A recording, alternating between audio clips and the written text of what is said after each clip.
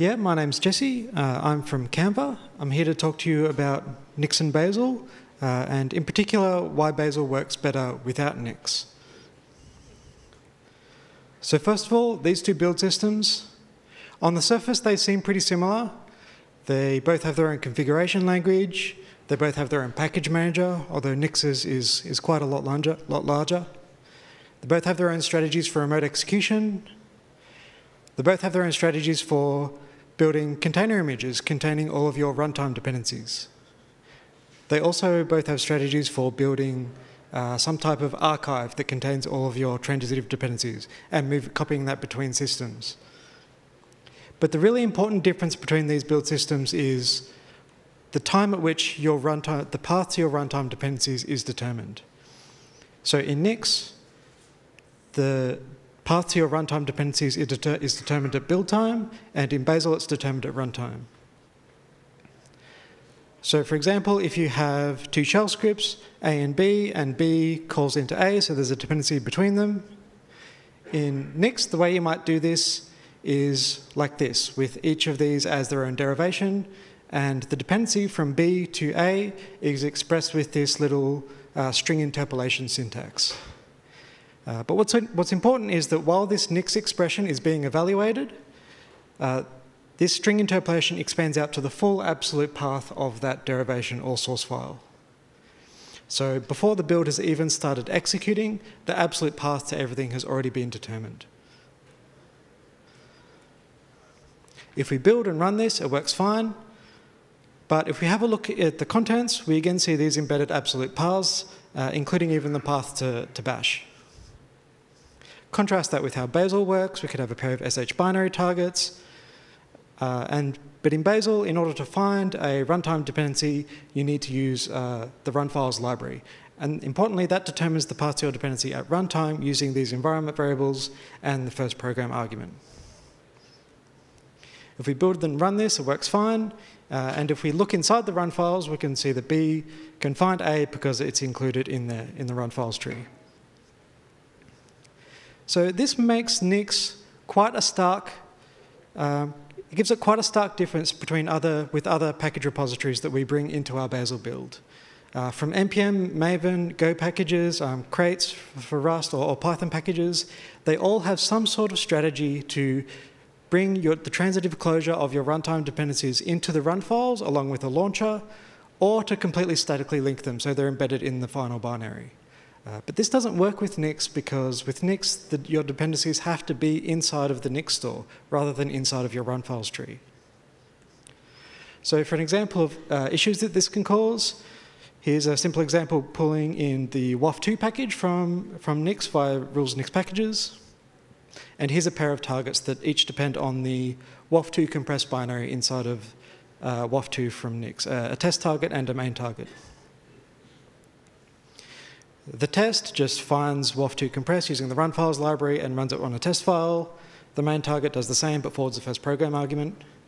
If we run the test locally, it works fine. If we build the main target and run that locally, it also works fine. But what if we use remote execution?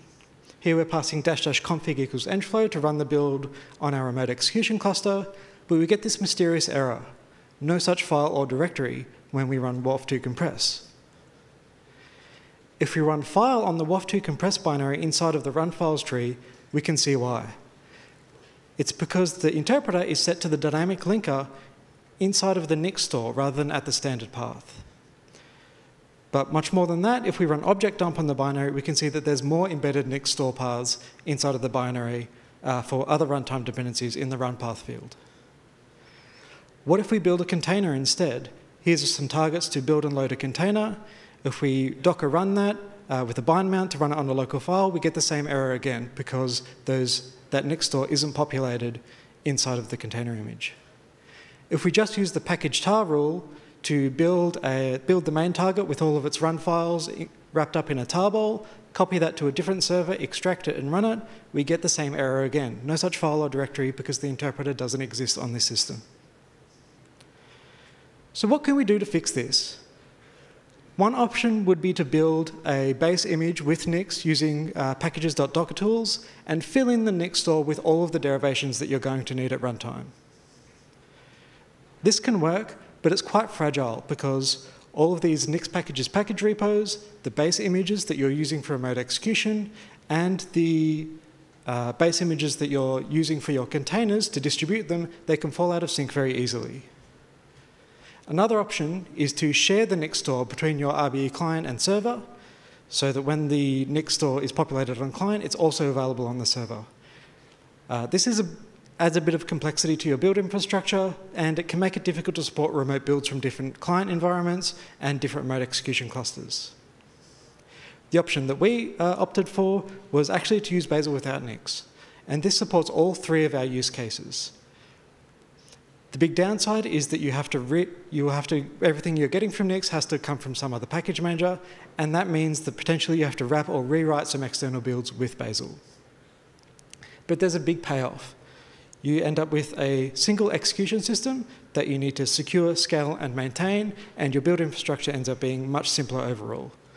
So for an example of what this looks like, continuing with the previous example, WOFF2 doesn't have a Bazel build available upstream, uh, but it's pretty easy to write one, and here's an example.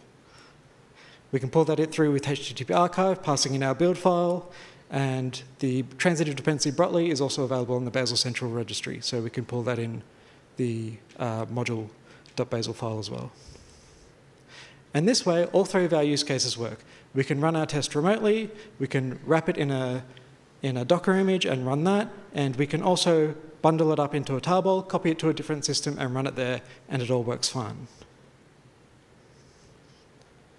Now, this lack of relocatability uh, with Nix builds, due to the embedded absolute uh, Nix store paths, isn't the only issue we've had with integrating Nix and Bazel.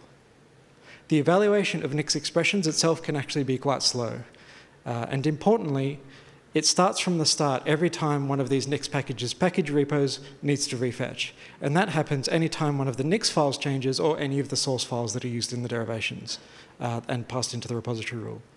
This is a big difference to Starlark evaluation in Bazel, which is incremental and is reused between invocations, uh, provided you don't uh, drop your analysis cache. Um, the evaluation of the Nix of Nix expressions is also repeated between the Nix packages, package repositories uh, as well. So it's a bit inefficient in that way also. Uh, when we were building Docker images containing the pre-populated Nix store, uh, we found that, that just building a Docker image with the, with the appropriate Nix store wasn't sufficient because we also have non-Nix binaries involved in our Bazel build, ones that expect a standard FHS file system layout from a standard Linux distribution, instead of what is effectively NixOS. So we have to run these extra commands on top to set up an FHS file system layout and also configure the dynamic linker so that our non-Nix binaries can find their runtime dependencies through the dynamic linker. So this is what it looks like before and after. With Nix no longer involved, Bazel takes on a much larger share of the build workload.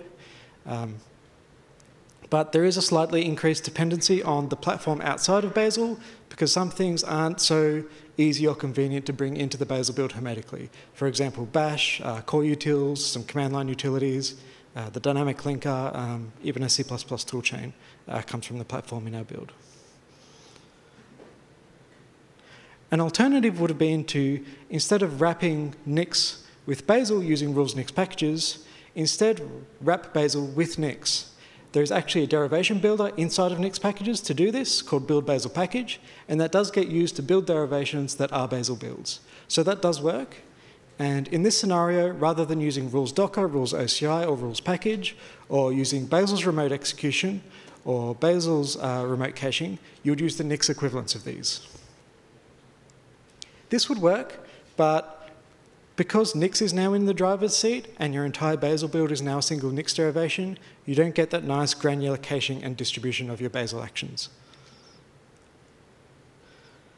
So in summary, what we found is while Nix and Bazel have very similar goals, uh, they have really incompatible designs. They have a kind of impedance mismatch in where they determine their runtime dependencies to be. We originally used rules Nix packages to provide access to a very large package repository, but we found it wasn't providing enough value to offset the, the limitations that it imposed on our Bazel build. And migrating dependencies away from Nix uh, and pulling them in through some other package manager or wrapping or rewriting third-party builds in Bazel. Uh, we did find that to be easier than we expected, generally speaking. Uh, but, and the big payoff is that we ended up with a single distributed build system that we need to secure, scale, and maintain. Um, and it, the simplicity also better empowers uh, people from outside the build system, uh, the build team, to self-serve their own changes as well, uh, instead of dealing, dealing with two uh, very complicated build systems. That's it. Thank you very much.